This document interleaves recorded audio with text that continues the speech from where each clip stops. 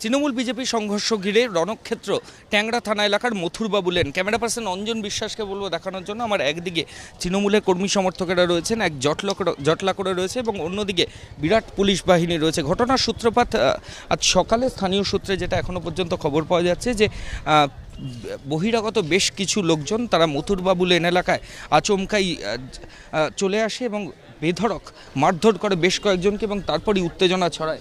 এই মুহূর্তে বিরাট পুলিশ বাহিনী তারা ঘটনাস্থলে রয়েছে। পুলিশের তরফ থেকে পরিস্থিতি স্বাভাবিক করার জন্য তিনটে থানার যারা অফিসার ইনচার্জ সহ যারা বাহিনীর অন্যান্য সদস্য, তারা মথুরবাবু লেন এলাকায় বিভিন্ন জায়গায় কর্তব্যরত অবস্থায় রয়েছেন।